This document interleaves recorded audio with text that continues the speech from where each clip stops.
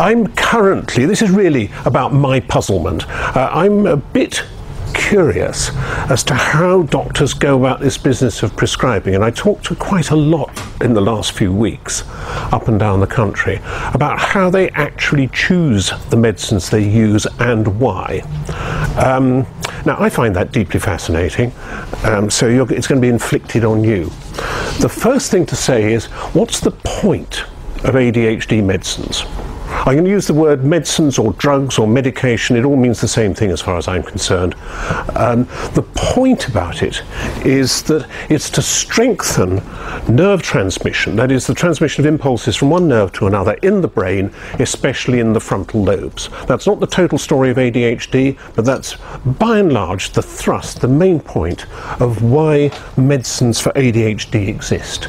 Now, the frontal lobe uh, is this blue bit at the front. It's the stuff above your eyes.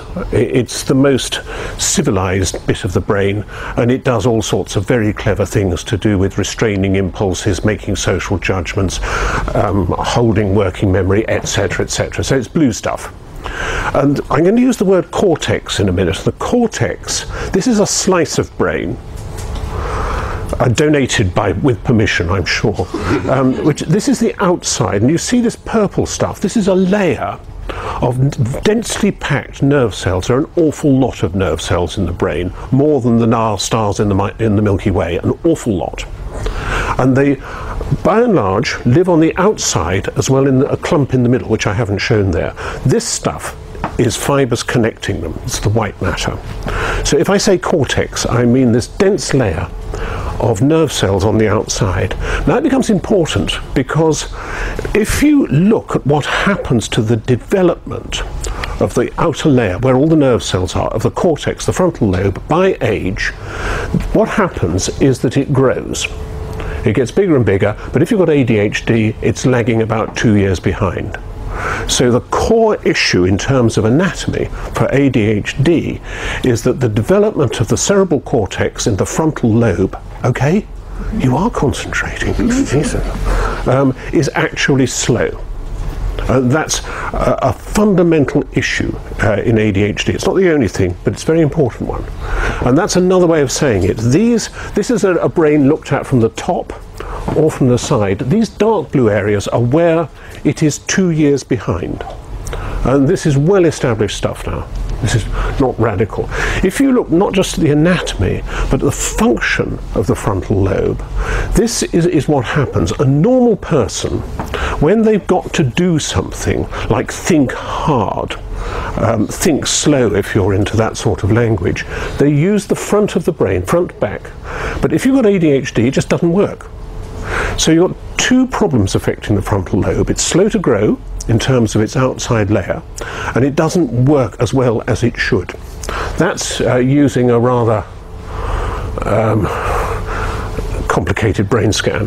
But you can see the same on functional MRI, which you're probably more familiar with, of course. That if you're, this is, these are people who are stopping doing something. The task here is to give 10 uh, year old boys a button to press which will drop a bomb out of an aeroplane, and then a, a light comes on that tells them not to do it. Now, that's very difficult if you're a 10 year old. You want to drop bombs out of pictures of aeroplanes. And an ordinary person, the front and side of their brain, just about here, dorsolateral, dorsolateral prefrontal cortex, if you want me to be precise, lights up. But if you've got ADHD, it just doesn't light up, and they drop the bomb. So this is about the, the brain not functioning as well as it should in its front bits. Now, the way in which the brain is driven is by nerve pathways that come from the middle or the base of the brain and go out towards the front. Now, these pathways um, use uh, stuff called uh, neurotransmitter to link one cell to another. I don't think this year I want to go into that uh, unless you push me hard. I've got slides in reserve if you need it, but I think um, it just gets too tiresome. So you've got nerves driving the front of the brain that are linked one to another by a neurotransmitter, and that might be noradrenaline, This is. I'm sorry about these brains switching from one side to another, but I can't flip these images without flipping the letters as well. And if somebody knows how to do it, Alistair probably knows how to do it. I can't. But it's the same principle. You've got a nerves coming out of the middle, going to the front. Oh yeah, I should just warn you that it's, it's active if you touch it. It is, isn't it? Yeah. Um, did I touch it twice? Okay, that was noradrenaline. This actually is a simpler diagram um, about the transmitter called dopamine. Dopamine, noradrenaline, two neurotransmitters, both um, busy in the nerve pathways that get the frontal lobe, which is the bit I was talking about earlier, going. Now, so what? Um, this is another brain scan taken from the underside. You put the scan, you put the camera, as it were, underneath the jaw, and you look up at the brain. There's the front. There's the back. I bet you've never seen the underneath of your brain, but this is what it looks like normally in terms of activity. This is a normal functioning brain, front, back. And these areas of purple mean lots of metabolism is going on. This is somebody with ADHD. This is the front of the brain, and in contrast to the last picture, this has got little holes at the front. Now, this doesn't mean that people with ADHD have got holes in their brains. Um, if you do put holes in the brains there, you'll give somebody ADHD, but this means that there isn't any metabolism going on there. There's no glucose uptake. So where you see these little sort of pits, that means something isn't happening. The brain is not soaking up glucose to go about its business.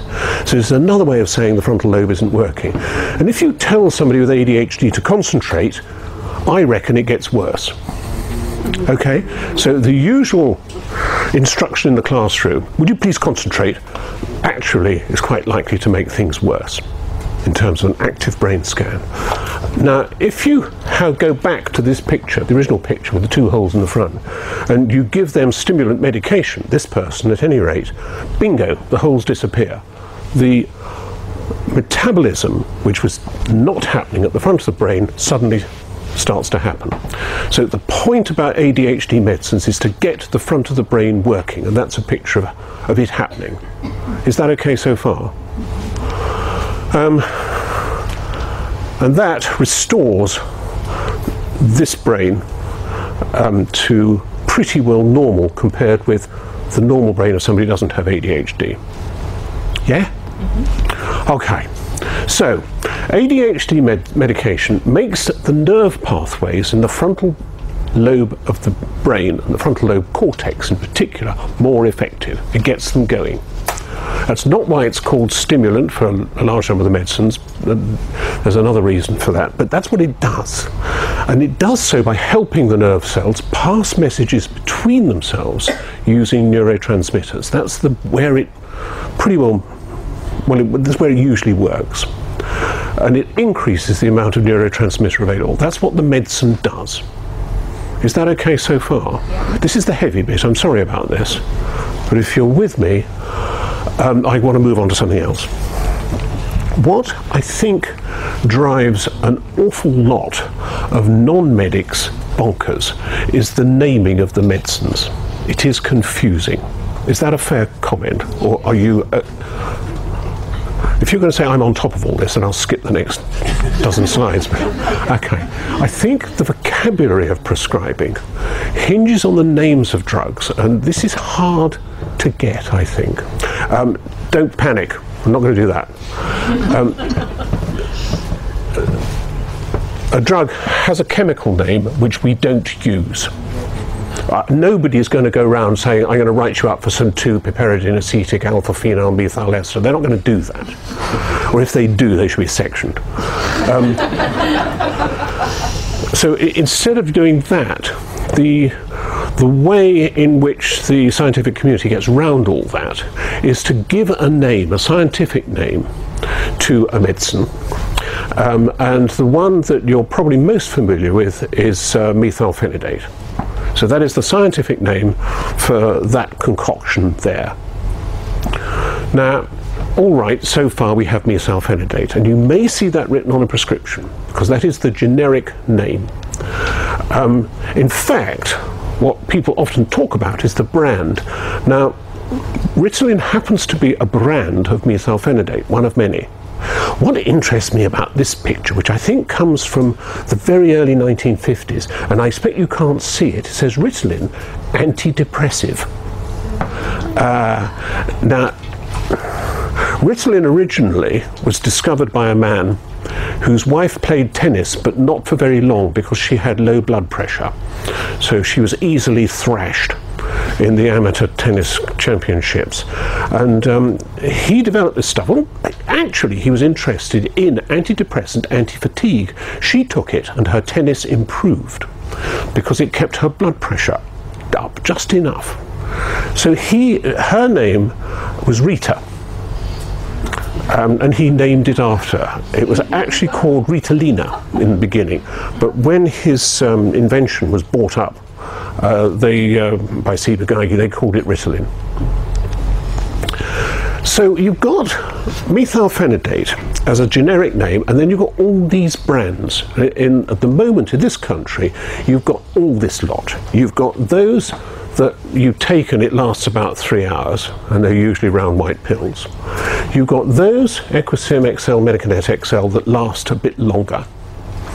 And you've got all this lot that are appearing um, of which Concerta XL is, uh, the sort of grandparent, but you've now got all sorts of other stuff. If you see XL, uh, it doesn't mean extra large. Very important if you've got a teenage daughter who looks at this and says, what, why have I got an extra large?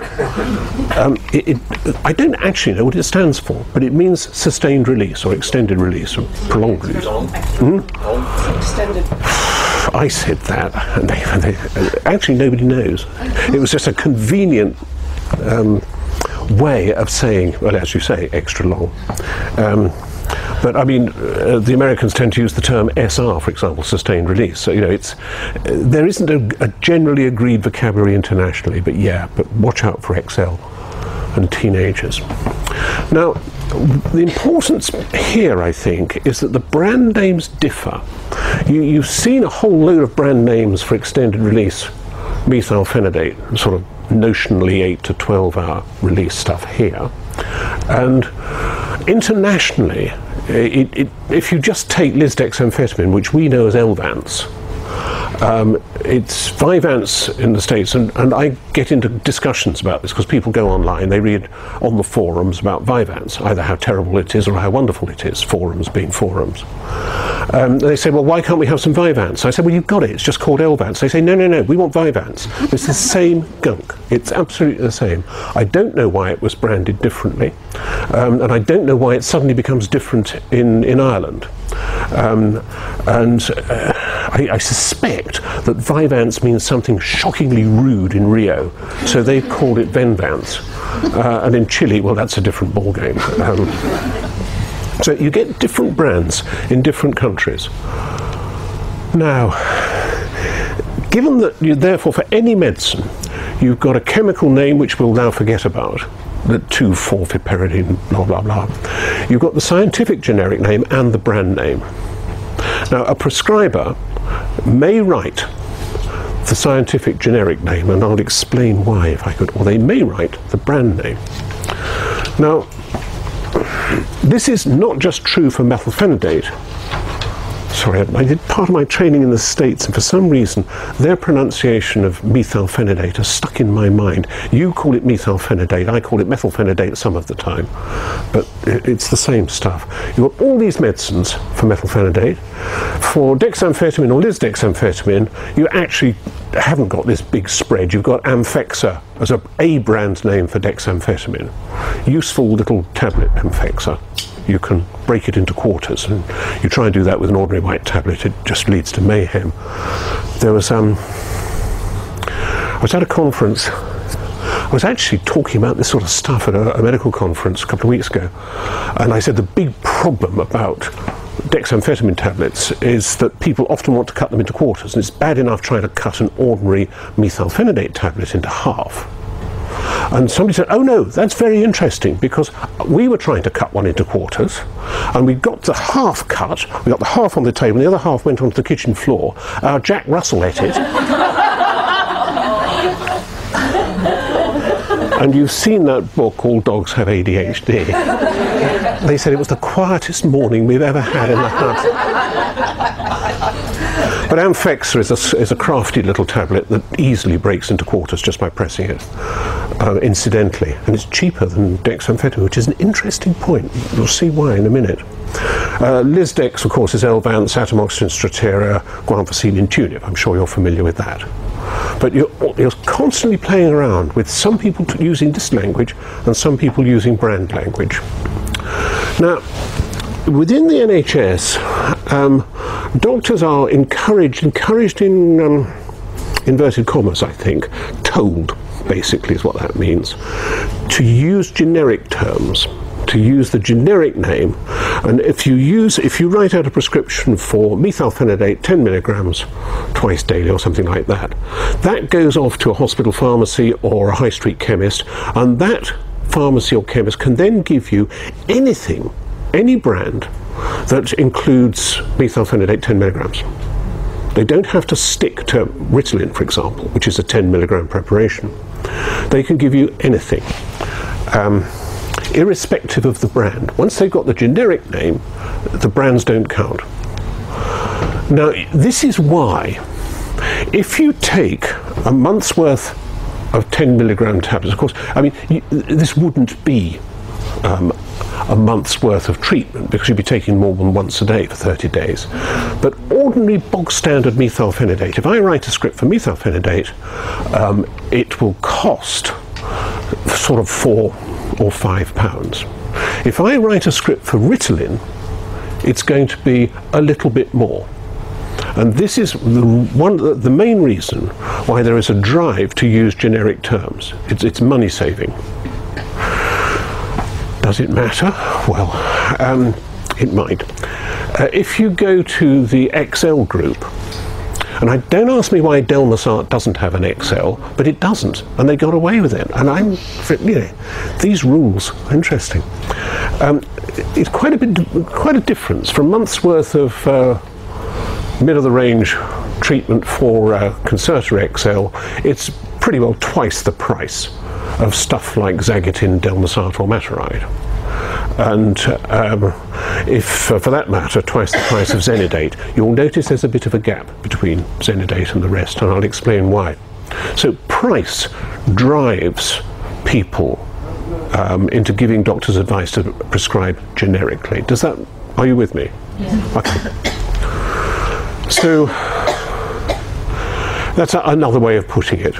Um, if you're prescribing immediate release methylphenidate um, a month's worth in NHS terms. If you go and buy it at the chemist, you, will be charged double that because chemists um, have the freedom to charge what they like. There isn't a price on the private market uh, or on the street actually, but um, you know it's sort of 12 quid's worth for immediate release methylphenidate, whereas it's nearly twice that if you move on to one of the XLs, um, being the cheapest, or um, brand, uh, the original brand, uh, Concerta XL, it's going to be, you know, nearly four times as much. So, although NICE says and has said repeatedly now in 2008 and in 2018, go for extended release, there are still managers up and down the country grumbling, saying this is costing us money. So we have all that, that price drives people into prescribing generically, uh, and that is the argument for it. But you, the, for medium duration XLs, like Medikinet XL or Equasym XL, they're not the same. So if you have a doctor who writes methylphenidate MR, which is what happens, um, 20 milligrams, so clearly not a Concerta dose, or 30 milligrams, clearly not a Concerta dose. Um, the chemist could give you one and could give them the other. Actually, um, that is what the computer is doing. In any GP surgery, there is lurking within her computer a software program that says, ah, ah, you prescribed a brand, we're now going to convert it to a generic. The software does that automatically. The- Not all software, but the most popular one used will convert brand names, if a GP uses a brand name, to a generic. Um, and uh, that's held to be a good thing in one quarters, but uh, actually they're not the same. If um, I'm sorry to show graphs to you at half past 11 in, in the morning, it's not fair, but basically, if you take a plain tablet, an ordinary methylphenidate tablet, an ordinary Ritalin tablet, God knows what, what happens to your the concentration in your blood is that after about two hours, it's peaked. This is the amount in your blood, the concentration in your blood. This is the time. So you take one there and you take another one four hours later and you get another peak. That is, is what is going on if you take 10 milligrams of ordinary methylphenidate twice daily. Whoops, I shouldn't have touched it. Now, if you are in the business of trying to design a capsule tablets are round and hard, capsules are sausage shaped and squidgy. Yeah.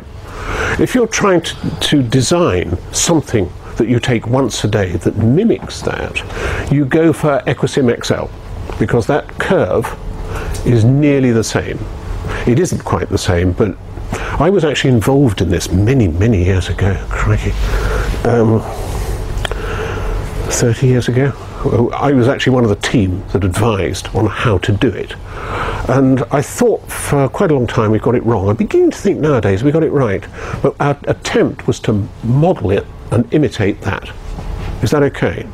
Now that's different from Medikinet. Medikinet XL, I should have said Medikinet XL. What happens is you get a big boost right at the beginning of the day and then a little bit of hump and then, although it lasts about the same amount of time, you don't get as much in the blood in the afternoon. And the reason for that is because it was designed in, Germ- in Germany. And in Germany, primary school aged children go to school and they come home for lunch, and that's it. So if you're trying to treat ADHD in Germany, you just want to hit them hard, as it were. I'm sorry to use combative language, um, but you're trying to pile in stuff to make sure that the mornings work, because the afternoons in school terms don't exist. Um, whereas in this country, for primary school age children, you're actually you actually got them in the morning and in the afternoon. So you're trying to do something slightly different, uh, or in America for that matter. Um, I don't want to talk about Concerta XL, but I want to flag up the difference between these two because it is different. And um, a well set up, don't even look at that, but a well set up prescriber will have uh, a chart now known as the Bazire chart after Steve Bazire. Um,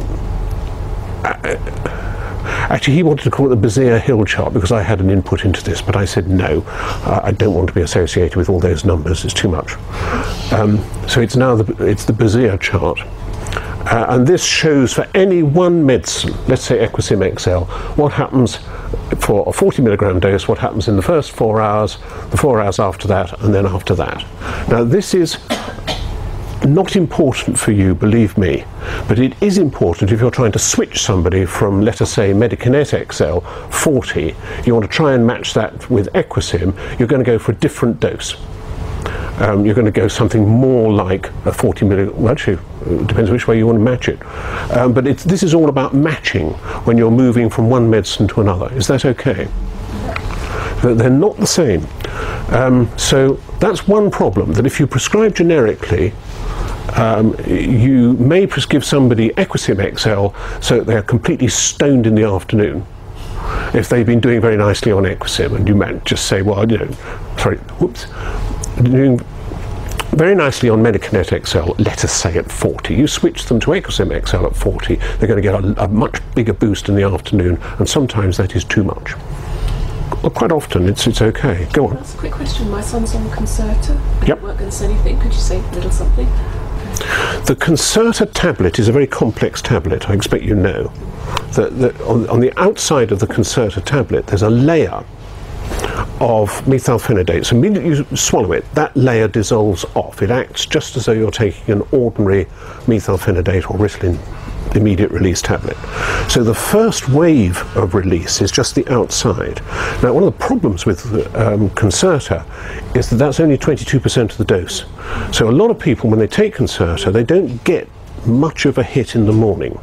I'm still talking combative language, don't I? But um, then what happens is once that layer is dissolved off, you're left with a sort of shell.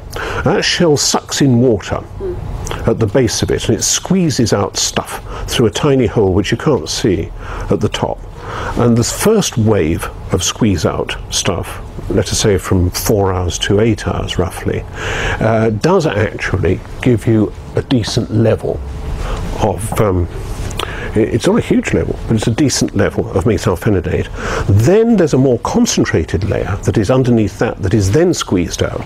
So you do actually not, you don't get a peak because the squeezing is gradual, but you get this long tail off. So Concerta lasts longer for most people. It's supposed to last 8 to 12 hours. Sometimes it doesn't, sometimes it doesn't. Um, but the Concerta is a different system, and it's a system called Oros. And I think I'll come back to that if I may. But uh, it, it is a different way of doing things, but it's the same gunk inside. It's methylphenidate inside. I can see from those charts that I, I can see that's what my son takes. Yeah. Think, yeah. Yes. I mean, uh, he, if you talk to him about it, if you can get a coherent answer out of him, he may say it's not much good in the morning. Uh, um, but I don't eat lunch because that, that's when that wave is coming in. The next problem with generic prescription is what's known as bioequivalence. Um, you have a prescription and it's written methylphenidate 10 milligrams three times daily or something like that. You take it into the chemist and they last last month they gave you Ritalin this month you, they give you Tranquilyn, and you, you say, this isn't quite as good. And the chemist says it's exactly the same. That is wrong. Uh, what they actually mean is it is bioequivalent. Now, bioequivalent doesn't mean exactly the same. Bioequivalent is a term used by people like the MHRA, you know, the licensing authorities or the European Medicines Association or, or the, uh, um, the FDA in the States. Bioequivalent means that when you bring out a new generic form, a new, you decide you're going to make um, some methylphenidate tablets that are going to be much cheaper than Ritalin and therefore going to make you a lot of money. And you make a 10 milligram tablet and you go off to the MHRA and you say, I've got this new tablet. Um, and they say, fine, can we see what it releases in the blood? And you say, yes, I have these studies here. They were done in Manchester. They're always done in Manchester. Uh, until they discovered the Indian market. Um, but uh, what? I, I, remember doing this with a, a, a, tablet which doesn't exist any longer, called simply called Equasym. Um, I, I went to the MHRA and they were looking at Equasym, and I said, but these blood levels aren't anything like as good as Ritalin. They said, shut, new boy, shut up, you don't understand. I said, yeah, I don't understand. Why aren't they the same? They said, it only has to be 80%. For bioequivalence, you have to match the original brand, the lead brand, by between 80 and 125%. Now, nobody's going to go for 125%. They're going to go for 80%. And uh, this is the problem that it can be bioequivalent, but actually not numerically equivalent. It may only release 80% as much as the brand lead. And this was the story with Equasym, which was the first Ritalin imitator. Uh, the, the, the, parents were saying, yeah, we've got it. It's not quite the same, is it? You know, they knew. And there was then this big argument about equivalence, because they would go to the GP and the GP would say, it's the same stuff. But actually it isn't quite. And um, I think we're seeing this now. I think we're seeing this now with Tranquilyn. I get so many reports that Tranquilyn isn't quite up to it. I'm sure Tranquilyn is bioequivalent. It wouldn't be on the market if it wasn't. That doesn't mean it's, reduce, it's producing exactly the same amount of medicine in the blood that, uh, let us say, Ritalin, which is the, the, one they have to match because it was the original brand. So this is a problem. If you write a generic prescription, you may actually, at the end of the day, be writing up for something that is only 80% of the power. Are, are you with me? Not many people know that. They really don't. I've had so many arguments with pharmacies, uh, uh, pharmacists, because uh, uh I send the parents back saying, look, stick to the brand you've always stuck with. If it's Tranquilyn and you've been fine on Tranquilyn, stick to that, because you may find, Ritalin, let us say, a bit strong. But uh, the other, the, the other way around happens. I mean, I noticed that when there was great nervousness about giving Rory Bremner um, some methylphenidate uh, on camera on the Horizon program, Phil Asherson, very cunningly, I thought, gave him some Tranquilyn, thinking this is not going to have quite the same hit as Ritalin. Um, I, much teasing follows. So bioequivalence is not exact equivalence in spite of what the doctor says, in spite of what. I mean, I've worked on these agents. I've worked for all three of those agencies. Uh, so um, I reckon I know. But if you doubt me, go to the EMA website which is European Medicines Agency, uh, and within that very big website, if you look for bioequivalence, it will tell you just that. So I, I'm not making it up. So um, that for example, what you can do is you can go to this is you're not going to want to do this, but if you really wanted to find out what a medicine is doing in terms of blood levels, lots of numbers and equations and whatnot, you go to medicines.org, which is uh, the ni- nice linked website.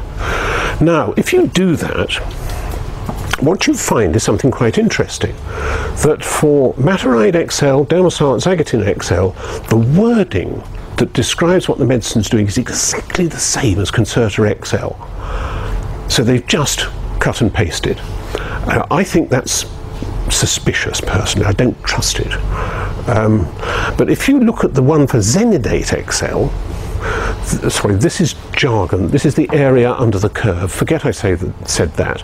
But actually, it doesn't release as much. It only releases 110 against the 125 for Concerta XL online, you can go and look what the Medicines Committee for South West London and St George's say about prescribing medication for ADHD. And it says very specifically there you should prescribe Xenidate XL because it's bioequivalent to Concerta XL. In fact, on the list of their recognized XL medicines, it's only Xenidate, Equasym XL, and Medic- Medikinet XL. So the instruction to doctors around here is only prescribe Xenidate XL because it's bioequivalent. But you know, the people who wrote that, I think, in all honesty, thought the bioequivalence meant numerical equivalence, and it doesn't. Um, and uh, I know, I know the clinician involved, and he would not have worked on those bodies. Yeah, well, I'm banging on, aren't I? Third problem about generic prescription, writing just methylphenidate XL, something like that. Um, all lasting XLs are not the same. All the, the main ones, the Concertas, Delmosart, Matoride, Xaggitin, a lot of pressure across the country now for everyone to prescribe Xaggitin. Um, I, I, don't know why. I mean, it's no real different from Delmosart or Matoride. They're all Oros systems. When I was explaining the complicated structure of the Concerta XL, that is an Oros system. It's very clever. It can go wrong and not work, but it's very clever, and it gives you a, you know three phases really of release. Um, the academic pharmacists like Steve Bazire that I talk to or who are prepared to talk to me are a bit puzzled by that because the Concerta XL tablet clearly had three phases, whereas Matoride only has two, and we can't find out about Xaggitin yet because they haven't um, published all the details. But Xenidate is not that system, it's different. It's a wax tablet. It's a wax matrix with little granules in it. One sort of granule released now, one sort of granule released in four hours' time uh, five hours' time. So it's not the same sort of thing, which is probably why it doesn't hit quite the same numbers. But it's, it's not only bioequivalent but not exactly equivalent, but it's also a different way of doing things. Now, that might be useful, but my gossip, or the gossip well, it is my gossip, I suppose. But the gossip I'm exposed to says Xenidate isn't really doing as well, doesn't last as long, doesn't deliver the goods. But I'm deeply suspicious, and because it's the people who make it are not members of the British Association of Pharmaceutical Companies, uh, they don't have to release the data. So you have to go digging for it. Um, Steve Bazire and I, when it first came out, wrote letters to say we want to know what, how the tablet is made up. And we had to resort to industrial espionage to get the answer. You know, it's not straightforward. They don't have to release the info because it's, it's not a British company. Okay, all right. Yeah. Uh, so you, you'll get, uh, you'll see my reservations about generic prescription. I think it's okay, but you've got to know what you're doing if you're prescribing. You've got to know the traps. Um, I just put that up just because I will sometimes say stimulant, and I'm sure you you know the distinction between stimulants and non-stimulants. Stimulants, methylphenidate, dexamphetamine, lisdexamphetamine, are powerful. They act immediately. You swallow them, and you've got peak blood levels within an hour, and you've got a clinical effect within about 30 minutes. Uh, they wake you up. In fact, um, for uh, the top two, that's what they were designed to do. They were designed to alert people.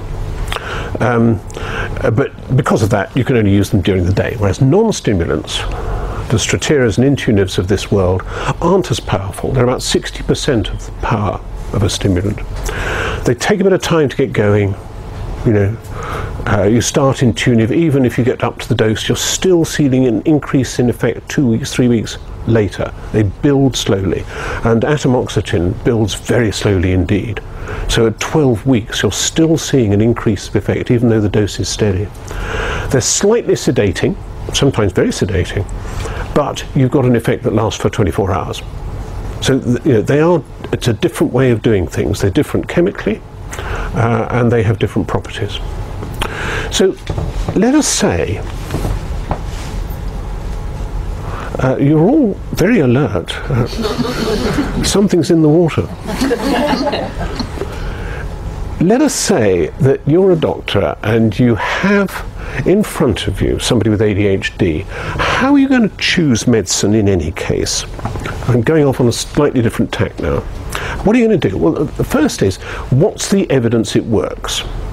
Now, generally speaking, nowadays the, ex- the evidence that it works is going to be very strong. You- won't see a medicine available for prescription that hasn't got through the European Medicines Agency or the MHRA. By and large, those two are the same at the moment.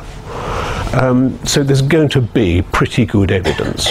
Better for some than others. There's a whole lot of evidence about methylphenidate. There has been the occasional voice to say, yes, there's a lot of evidence. but Most of it is from manufacturers' trials, and I think that is an issue. But you're going to say, how do we know it works?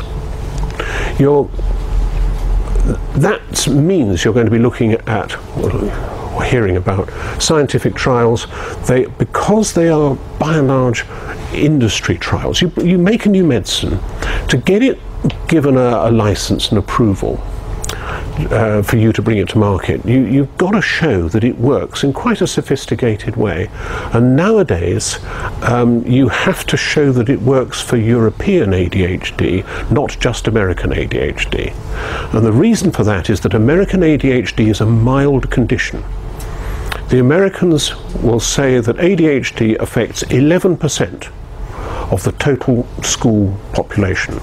They will say that is what it is, and they want to treat all of it with medicines. That is a stated aim by national agencies. We want to medicate 11% of the American childhood population, which makes the elderly and naive like me jump a bit, um, because we would say that ADHD probably at the level that you're going to see in clinics is only really about 2%, 1 to 2% on a uh, I know that everyone says 5%, but the, the, the, level at which you want to treat with medicines is going to be about 1 to 2%.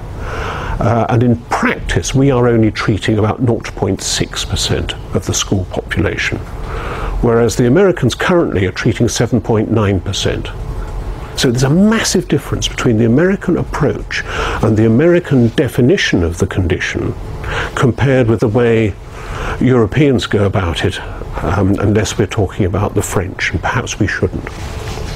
Um, the problem about the supportive evidence is there are hardly any trials that do a proper head-to-head comparison. Is methylphenidate better than dexamphetamine? Is Strattera better than Intuniv? You can't get that evidence at all easily. There are one or two trials, but by and large, we haven't got that information. We haven't got trials of combinations of drugs. In fact, in this country, combinations of drugs are frowned upon. I'll come back to that. So we don't know whether, for example, mixing methylphenidate and dexamphetamine is a good thing. Um, I think that's a very interesting question. Uh, I do have a few patients who I have got on both simultaneously, and I'm always surprised that it works as well as it does. But yet we don't, we haven't got evidence on that sort of thing, so we don't know. Um, and NICE in particular, are you okay about NICE? You know about NICE? Yeah. Okay. Well, NICE is a good thing, but it, it has rules, and the rules are set for it by people who are not clinicians, and it's very, very tight. What evidence can you accept? And the number of uh, trials, for example, they will accept, very small. So a lot of trials are kicked out because they're not good enough or they're too old or they haven't got blind allocation or blah, blah, blah. So they're very, very choosy. And I think that means there's a bit of a loss of information, actually. I, I know the argument the other way, but um, they are so choosy, it gets very, very tight. So You've got the quality of the supportive evidence, which I can say something. There's something about the marketing authorization or the license. I hear so many times, GPs in particular, saying it's not licensed for adults. And I say, well, would you like to go and have a look? Because actually, I think you'll find that it, I've had this round last week. GP um, sent me an email saying he cannot prescribe um, methylphenidate for this Concerta XL actually for this student because it's not registered, it's not licensed for adults. And I had to be terribly polite and give him precisely the website where he could see that in fact it is if it has been started in childhood and found to be effective. Um, but there's all sorts of fuss about licenses. Now, a license is properly called a marketing authorization. And if you call it a marketing authorization, which is what the official literature talks about, it's pretty clear there's nothing to do with doctors. I've heard very experienced doctors saying, I can't prescribe off license, I'll be struck off, or even prosecuted. That is not true. Um, a marketing authorization applies to the manufacturer. So I've made a medicine. I go to the European Medicines Agency. I say, I want to um, release it. I want to market it so that people in the NHS can prescribe it. Independent practitioners can prescribe it. And they say, fine, have you got the evidence it works? Can you make it to an acceptable quality? And have you demonstrated that it's safe? That's the, those are the three questions. And if you can do all that to their standards, then you can have a license, but it's the manufacturer that has the license. And the license is pretty tight. It specifies that the dose is going to be 40 milligrams a day. It's going to be for the treatment of ADHD, not necessarily, oh, don't get me going. Um, and it's going to be for um, 18 to 24 year olds because that was the group in the effectiveness trials. So they're very, very tight.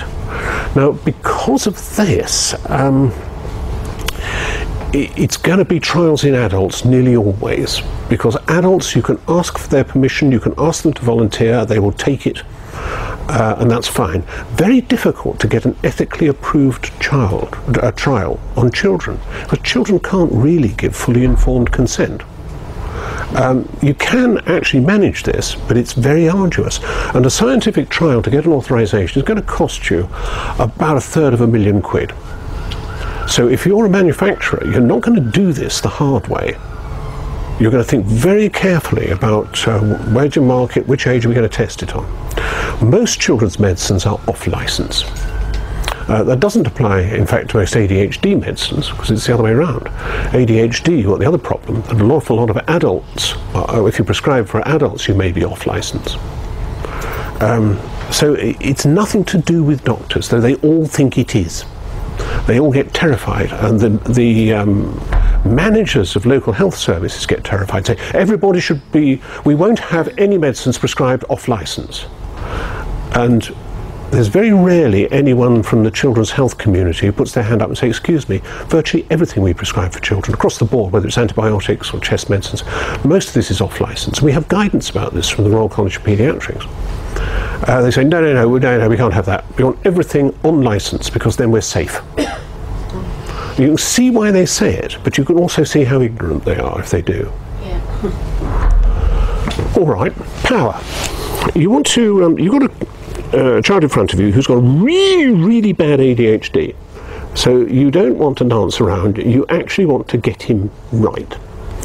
Um, so you're looking at the power of the medicine. Now, all right, don't, don't panic about these. This is just a list that says on these numbers, lisdexamfetamine is, is very powerful, really powerful medicine. So you think, great, all my patients should have it.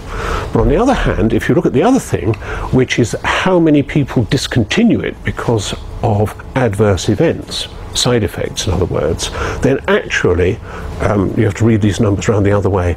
Um, lisdexamfetamine, for that matter, GXR is Intuniv, uh, have got very high rates of um, side effects. So power, yes, but with power, quite often comes become comes side effects as well. So power is not the only answer. You've got to be, you've got to do a balancing act. All right. You choose a medicine because you know it. I've been prescribed. I mean, I was thinking on the way up here. I've been prescribing uh, methylphenidate for 42 years now. I'm very familiar with it. I, that means I keep on making the same mistakes. Um, you know, I, I know it. I know where I am with it. Um, I also know that his reputation is is pretty straightforward. You know, nobody thinks, nobody in my business thinks methylphenidate's complicated. So that's going to influence people, but you then get mistaken concerns arising out of reputation. For example, the panic when Strattera came in that it caused suicidal behaviour.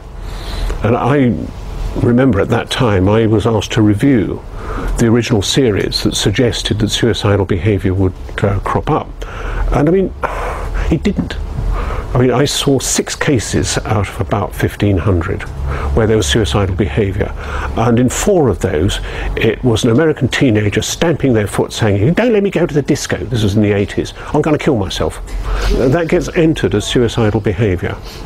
Uh, now, nowadays, if you read the reviews, nobody thinks that Strattera causes suicidal behaviour. Yet it's still got black lines round it in the prescription manuals. So the, the story won't go away, even though I don't think it's true. Same with Strattera and liver damage. Nobody thinks that's true any longer.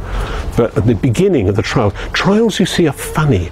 Trials, when they're done in the States, the people who go into trials are recruited from advertisements in the local newspaper. Very, you know, and they are then screened to be just what, you know, you don't want any funny people like you might see in a clinic. um, the story is still going around that lisdexamfetamine, because it's an amphetamine, must be addictive. Actually, it just isn't. You, you, uh, it just is not addictive. It's not even fun to take unless you really hammer it. If you can get up to 300 milligrams a day, some people will say, yeah, it's, it's, it's not bad. But I, the, the, story I like best is Dave Nutt's story. Uh, he was doling out uh, Elvanse to a very risky young adult character who was obviously on everything that came. He said, look, I think, I think we ought to give you this because you're screwing up your life. He said, but I'm worried um, that you're going to misuse it. He said, no, I'm not. He said, Dave, I think you are. He said, no, I'm not. Why would I? You, you write me the script, I take it out, I sell it on the street, and I buy some crack.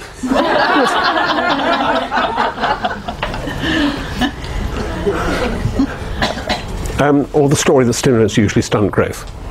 Now, uh, they can, uh, if you give enough for long enough, um, but even then, uh, it's not usual and I, I must, I've got um, round about 250 people on medication that I see. I've only got three where I've thought in recent years that there may be slowing of growth, and the growth doctors just don't agree with me. They just say, no, no, shut up, you've been, you read too many papers, Hill. Uh, this is just delayed puberty, for goodness sake. It runs in the family. So how much would you have to give for how long for that to be a reasonable risk?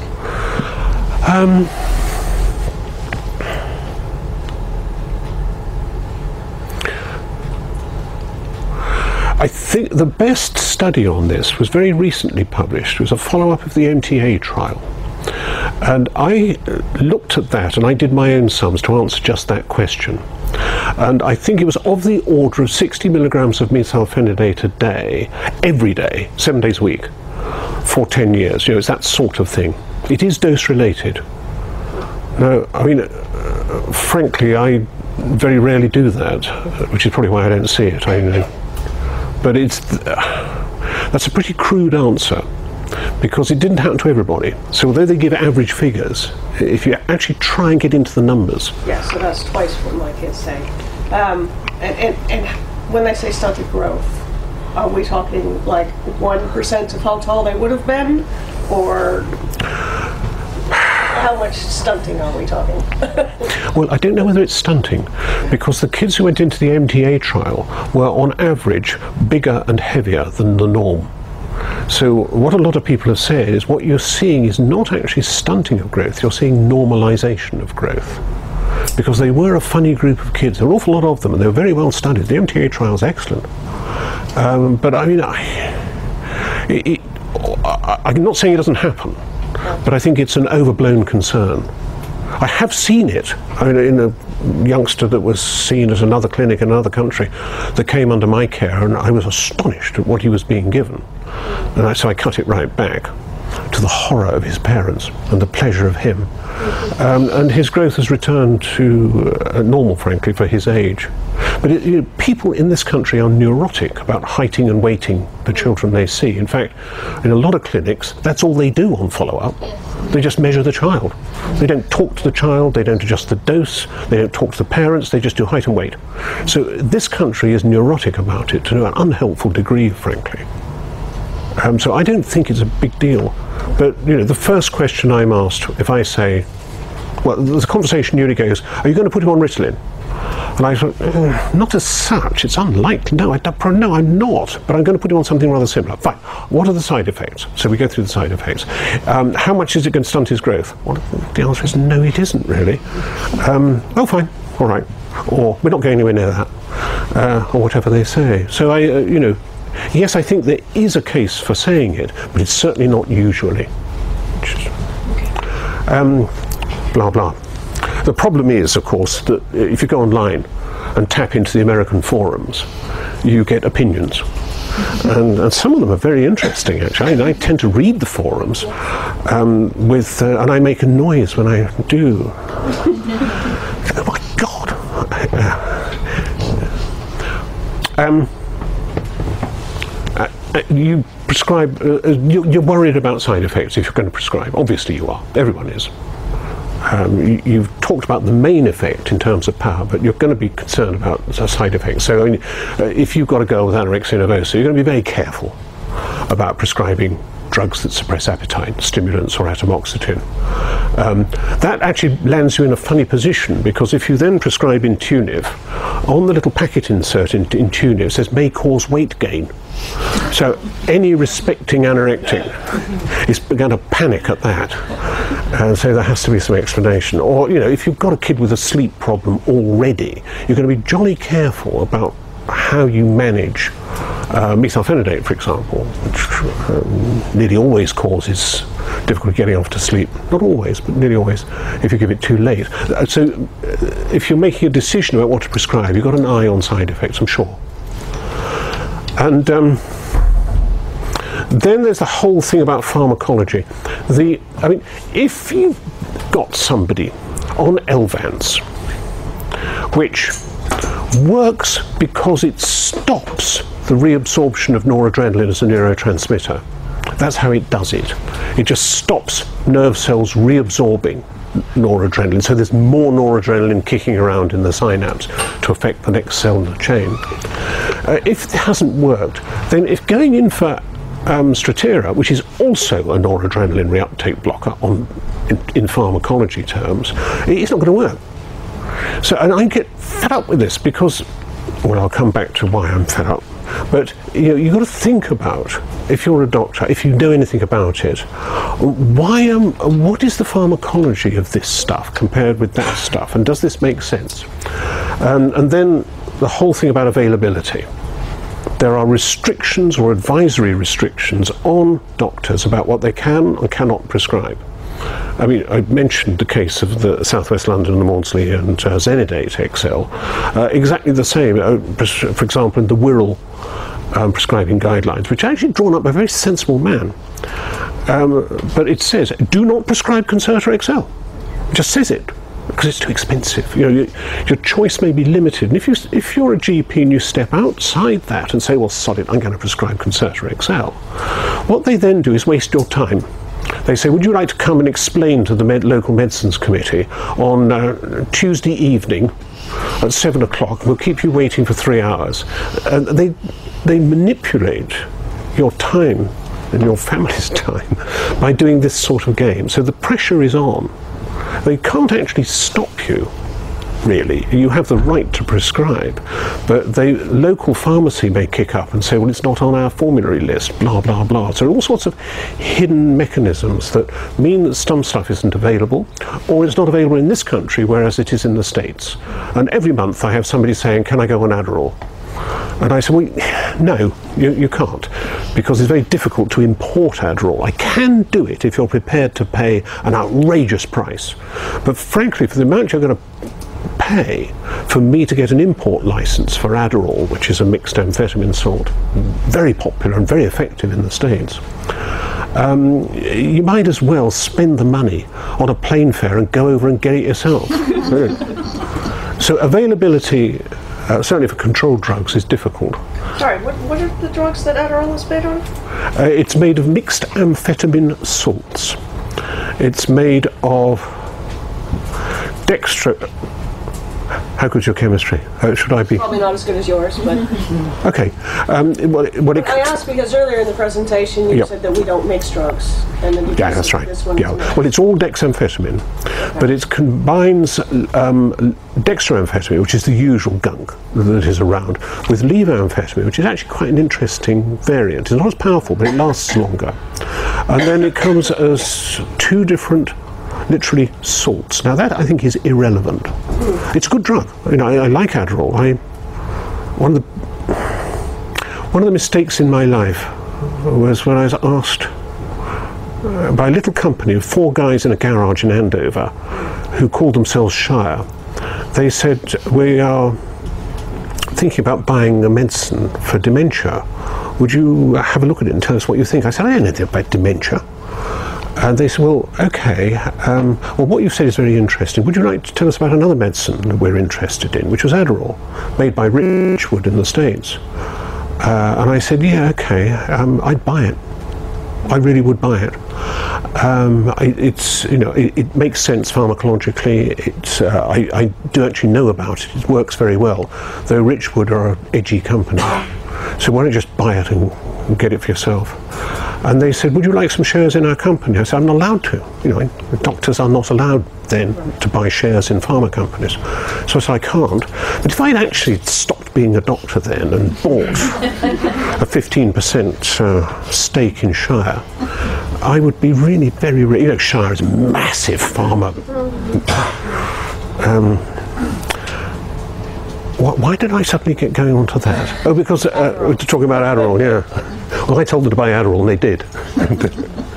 I think they were going to do it in any case. But um, no, I think uh, you're quite right. I mean, Adderall is a sort of dirty mixture. It was de- developed originally in uh, Hungary, I think, as a tonic, rather like Ritalin was years ago. You know, get some amphetamine, mix it up a bit, and give it to people who think they need a tonic, and it works very well. Um, but yes, I mean, it's from that point of view, it's a messy prescription, but just happens to work rather well. Okay. Um, well, I've made the point about local formularies. These are lists in any area which doctors are expected within the NHS to stick to. And if they step outside the formulary, there's trouble. Now, consultants are usually given a bit more leeway than GPs. And a common discussion I have with somebody, let's say on the South Coast, is um, I asked the GP, will they take over the prescription of, uh, I don't know, lisdexamphetamine, for example. And they say, well, actually, no, we can't because it's not on our formulary. It has to be a consultant drug because it's a red red list. You know about the traffic light system. Red is consultants, yellow is GPs with regular consultant supervision, green is what the hell anyone can prescribe it. it's a very strange arrangement. It particularly comes into play with melatonin, um, which nobody really seems to know how to manage. Uh, and these formulas are driven by cost. The local one for here. Um, uh, somebody I know went to present uh, the information about um, Intuniv, about guanfacine, and they just said, what's the, what's the cost? That's all they were interested in. They weren't interested in does it treat some people that other medicines can't?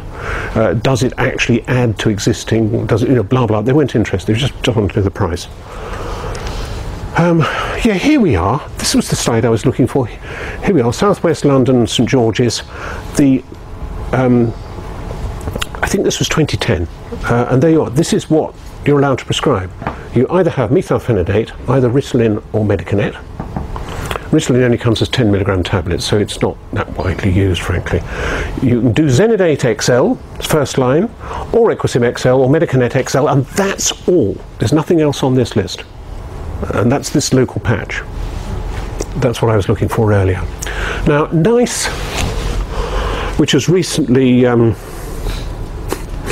uh, uh, rewritten itself um, very well in many ways, tends to have this model in its head that initially you decide uh, if you're a prescribing doctor, are you going to go for a stimulant, methylphenidate or dexamphetamine or lisdexamphetamine, or are you going to go for a non-stimulant? you're going to make that decision basically on is somebody going to abuse a stimulant, in which case you give them a non-stimulant. Um, they, have they got tics?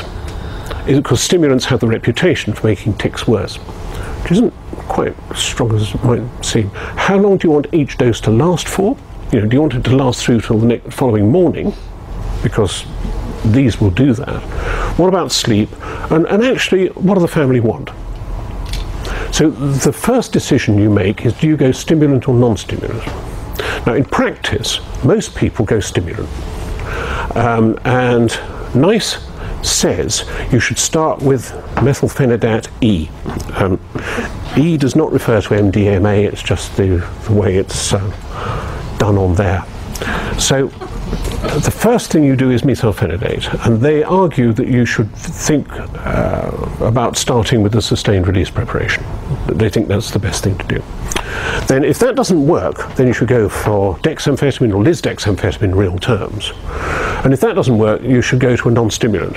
And I've already made the point that it doesn't really make sense if you're going to do that to go to atomoxetine, because if it doesn't, if it is lisdex doesn't work, then I'm pretty sure that uh, the strattera isn't going to work either. Um, they only talk about one drug at a time, so that this is one drug to another drug to another drug. It doesn't talk about combinations, and I think uh, that's uh, interesting because it leans on the trials, and the trials that are, form the evidence are nearly always funded by the drugs industry. And they're only going to test one drug at a time. They're not going to test their drug and competitors unless they're pretty confident of the result. They just don't do it. And it's very expensive. Trials are expensive. So they, the idea is you choose sequence. You go for one, uh, then you go for another, then you go for another. The idea is that you, you change, therefore, you go from methylphenidate to Lisdex. If it doesn't work, or doesn't work well enough, if you've wound it up to the maximum dose, if it's poisonous, if it causes lots of side effects, um, or sorry, toxicity and side effects not quite the same. Uh, you, know, you may have got to a working dose, but the kiddies stoned. You don't want that. That's what I mean by dose-related toxicity um, or rotten side effects. Well, okay, but how do you know when to change? If you're measuring the effect on a rating scale, then you know how far you've got. Most doctors, frankly, don't do that as much as they should. I know that a lot do, um, but, but you know, have you got a measurement of how much it's worked before you decide to change? Can you? What about the side effects? Are actually very good guidelines on how to manage side effects, so there isn't necessarily a reason for changing. And what is this maximum dose business? This is a paper, well respected paper, of 17 teenagers, roughly speaking 16 year olds, who were taking Concerta XL at between 126 and 270 milligrams a day. Now that's going for it, I must say. Um, uh, what they did was they rounded up these kids and took blood off them to say, well, okay, if you're taking this amount of medicine, whatever's happening to the levels of medicine in your blood? And the answer is they were normal. They're just like the sort of levels you get from, say, 36 or 54 milligrams a day. So some people need very, very high doses to get an adequate clinical response and an adequate blood level, and none of these had dose related side effects. Now, I think this is a very, very important paper because usually you hear people saying, well, the maximum dose of methylphenidate is 60 milligrams or 90 milligrams or something like that. Well, across the board, yeah, but not for everybody. Um, the other thing is whether you should change whether you should automatically try everyone on methylphenidate and dexamphetamine, or lisdexamphetamine. And these people in Norway, who are well respected, the Ramtvedt outfit, just south of Norway, um, what they did in their community clinic, this is not a laboratory, this is a community clinic, is they said, okay, everyone coming into the clinic with ADHD gets methylphenidate, and then a few weeks later gets Dex, and we'll see which is best and which has fewer side effects. And the uh, interesting thing is they got a 92% success rate. Now that's very, very high. Most things you read will say there's an 80% success rate for stimulants. And actually, that is only true if you stick to one stimulant. But if you try both, you get very high success rates. Are you meaning together? No, one, after the other. So you Yeah. stick in the end to the one you. You stick to the one that you're either either worked best for you or had side effects you could manage. Yes, no, um, no, it's not together. It, it's uh, it was four weeks on one and four weeks on the other with, with adjustment of the dose within those four weeks. But I think it's really interesting. I mean, it, it actually it's in line with. Um, other work, and you may have seen the Gene Arnold's pie chart that shows exactly the same thing. Although half of all people respond equally well to methylphenidate or Dex, doesn't really matter. A quarter do better on Dex and a quarter do better on methylphenidate. People are different. So, um, given that you've got this sort of thing, if you're going to a non-stimulant, or if you're going to a non-stimulant because stimulants have been unacceptable or haven't worked, how do you choose between these two? Um, nobody knows. Hard, but the basic information I think we're reasonably confident in is that um, Intuniv may well reduce tics on its own. It's very like clonidine, which has been used for years to treat tics. It doesn't always work, but it's pretty straightforward. It doesn't suppress appetite, which is important. Um, um, but sleepiness is a common problem, particularly in the first month. Whereas atomoxetine Strattera may well help ADD when the problem that causes the AD is slow cognitive processing. I don't mean that they're stupid, I mean that they think slowly and carefully. Uh, and they are around. Saw one yesterday. Um, but the problem with atomoxetine, as I'm sure you know, is a high rate of intestinal side effects and nausea. It's a problem. So choosing is not straightforward. Um, if you, there's no guidance on combinations either. I'm just getting off how you choose between them because I think it's hard. Uh, you may have to try both. We don't know what combinations work. We know that in the States, a stimulant like methylphenidate plus guanfacine plus Intuniv works very well indeed. And nearly everybody I've got on Intuniv is also on a stimulant. It's a dream combination. It works like a charm.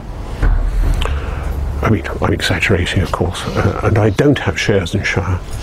Um, but you know, that's the way to do it, I reckon, because you, the Intuniv gives you coverage in the evenings and the mornings, whereas it's not very powerful during the day, Uh, and for the kids that I see who've commonly got educational related problems or school behaviour related problems, uh, that works very well. Adding stuff to sleep. I mean, NICE is not helpful on this. NICE says, well, yeah, you do uh, melatonin, but it's very unspecific about how much melatonin, when you give it, and the usual problem for kids on melatonin is they get given Circadin. Uh, Circadin was designed for the over 55s, and I can tell you um, that after nearly 20 years of taking it, therefore, on license, it works brilliantly because it's 25% immediate release, but 75% sustained release, so it stops the waking at half past two and three o'clock in the morning. That's irrelevant for children. You want to get them off to sleep, but only a quarter of the Circadin tablet will do that. Best given early in the evening, not half an hour before bedtime. You need to be giving it sort of six o'clock if you really want melatonin to work. Uh, and then you and you have to get you know all the other things like the tablets confiscated, the router turned off, and uh, dark lighting and, and all that. So there's not good guidance on this, which is a great shame. There's not good guidance on how to manage very aggressive behaviour or very excitable mood swings associated with ADHD. NICE has been a little bit better this time round, saying actually risperidone can be quite useful. Now, why it says risperidone, I don't know, because if you are used to this area, aripiprazole is a damn sight easier. It's got fewer side effects. Um, it used to be very expensive, but now there's a generic out. It's quite cheap. But there's no, you know, no good national guidance on it. This is such a common problem. Uh, and the other thing is um, adding uh, an SSRI, a serotonin reuptake inhibitor. You know, the, the, the fluoxetines or Prozac or sertralines, lustrals of this world, for anxiety, which is such a common problem. We've got no guidance on this. This is very bad for doctors because they don't know how to do it. The last conference I went to, which senior consultants, I had two people come up saying, "Is it safe to give sertraline alongside methylphenidate?" Well, the answer is yes perfectly safe. There isn't a problem. Just don't mix fluoxetine and um, that's Prozac. Don't mix Prozac and um, in, and uh, lisdexamfetamine and Elvanse. Elvanse and, and Prozac is a mixture to be very careful of. I can explain if necessary. So guidelines, yeah, good thing, good decisions. Um, they can be abused by managers. I've heard managers say, nice is a luxury we cannot afford. I've heard managers say, we will not sanction anything that hasn't been approved by NICE. You, can use it both ways to control doctors. They're very narrow, the guidelines, by just going for one drug at a time and not talking about combinations. And I think the main problem for me is it stops clinicians finding out for themselves. They just do what they're told they think. They treat the guidelines as a tramline, say, well, we're only going to do this. It's not, not, not approved by NICE, which I think is unhelpful. So I think, basically, uh, although I'm pro-NICE, I think NICE is a good organisation. It's got an excellent international reputation. It goes about its business well, but it only goes so, so far, and it's vulnerable, I think, to uh, abuse by management as a way of controlling um, people who want to find out what works best beyond what NICE say. Thank you very much.